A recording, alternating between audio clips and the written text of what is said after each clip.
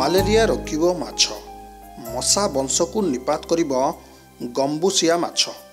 Drain ପାଣିରେ ବଢ଼ୁଥିବା ମଶା ତଥା ମଶାର ଲାର୍ଭାକୁ ଖାଇ ଏମାନଙ୍କ ବଂଶକୁ ସମ୍ପୂର୍ଣ୍ଣ ନିପାତ କରିବ। ଏଥିପାଇଁ ଡ୍ରେନ୍ରେ ଛଡ଼ାଯାଇଛି ହଜାର ସଂଖ୍ୟାରେ ଗମ୍ବୁସିଆ ମାଛ।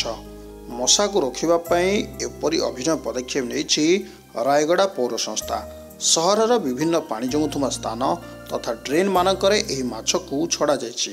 ଏହା ସହ ସହରର ପରିମଳ ବ୍ୟବସ୍ଥାକୁ ସୁଧାରିବା ପାଇଁ ପ୍ରଶାସନ ପକ୍ଷରୁ ଏପରି ପଦକ୍ଷେପ ନିଆଯାଇଛି। ଏ ମାଛ ଛାଡ଼ିବା ଦ୍ୱାରା ସେ ମଣ୍ଡା ପରେ ଲାର୍ଭା ହେବ। ଲାର୍ଭାଟା ଖାଇଦେଇକି ସେମାନେ ପୁରା ମୂଳକୁ ଏକା ସେ ଡେଙ୍ଗୁ ଆଉ ମ୍ୟାଲେରିଆ ହେବା ଏଇଗୁଡ଼ାକ ରୋଗ ଗୁଡ଼ାକ ଦୂର କରିବା ପାଇଁ ଏ ଫିସ୍ ଗୁଡ଼ାକ କାମ କରେ ସାର୍ ବର୍ଷା ଋତୁ ଆରମ୍ଭ ହୋଇଛି ବିଭିନ୍ନ ସ୍ଥାନରେ ପାଣି ଜମି ରହିବ ପାଣି ଜମୁଥିବା ସ୍ଥାନରେ ମଶା ବଂଶ ବୃଦ୍ଧି ପାଇବ। ଏଥିଯୋଗୁଁ ଲୋକଙ୍କ ନିକଟରେ ମ୍ୟାଲେରିଆ ଡେଙ୍ଗୁ ଭଳି ରୋଗ ଦେଖାଦେବ। ମଶାରୀର ବ୍ୟବହାର ତଥା ମଶା ବଂଶକୁ ନିପାତ କରି ଏ ରୋଗକୁ ମୁକ୍ତି ମିଳିପାରେ। ମଶା ବଂଶ ନିପାତ କରିବା ପାଇଁ ପୂର୍ବରୁ ପ୍ରଶାସନ କାନ୍ଥ ବାଡ଼ରେ ଡିଡିଟି ସିଞ୍ଚନ କରୁଥିଲା। ଏହା ସହ ଡ୍ରେନ୍ରେ କେମିକାଲ ଢଳାଯାଇ ମଶାକୁ ରୋକୁଥିଲା।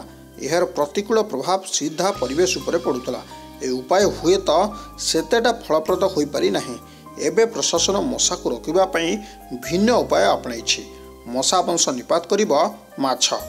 ମଶା ତଥା ମଶାର ଲାର୍ଭା ଖାଇବା ପାଇଁ ଡ୍ରେନ୍ ତଥା ପାଣି ଜମୁଥିବା ସ୍ଥାନରେ ମାଛ ଛାଡ଼ିଛି ରାୟଗଡ଼ା ପ୍ରଶାସନ। ଯିଏ ମ୍ୟାଲେରିଆ ରୋଗକୁ ରୋକିବା ପାଇଁ ବହୁ ମାତ୍ରାରେ ସାହାଯ୍ୟ କରିବ।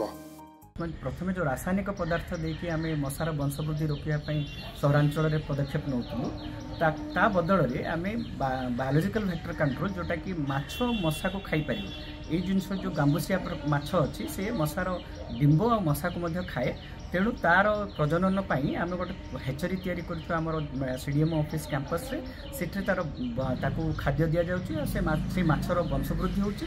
ସେଇ ମାଛକୁ ରାୟଗଡ଼ା ଜିଲ୍ଲାର ଯେଉଁ ଅ, ବିଜ୍ଞାପିତ ଅ, ଯେଉଁ ମ୍ୟୁନିସିପାଲିଟି ଏରିଆ ଅଛି ଯେଉଁଠି ଖାଲ ଜମି ଅଛି କା- ଖାଲି ଖାଲ ଜାଗା ଯେଉଁଠି ପାଣି ଜମି ରହୁଛି ଆଉ ଯେଉଁ ଯେଉଁ ଡ୍ରେନ୍ରେ ବି ପାଣି ଯାଉନି ଯେଉଁ ଜାଗାରେ ପରିସ୍ଥିତି ଅଛି ସେଇ ଜାଗାରେ ସେ ମାଛକୁ ଛଡ଼ାଯାଉଛି। ଜାତୀୟ ସ୍ୱାସ୍ଥ୍ୟ ମିଶନ ଜରିଆରେ ଗମ୍ବୁସିଆ ମାଛକୁ ଭୁବନେଶ୍ୱରରୁ ଅଣାଯାଇ କୁଣ୍ଡରେ ରଖାଯାଇଛି।